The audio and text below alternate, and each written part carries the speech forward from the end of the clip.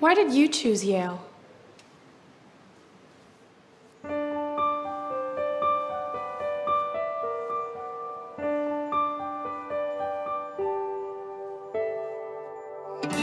When I was a senior in high school, Be quiet!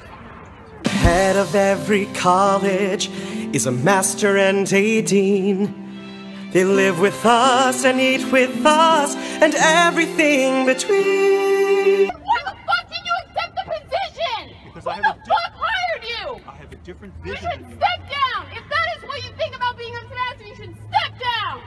I came to Yale because I wanted to learn, and I wanted to learn from the best. It is not about creating an intellectual space! It is not! Do you understand that?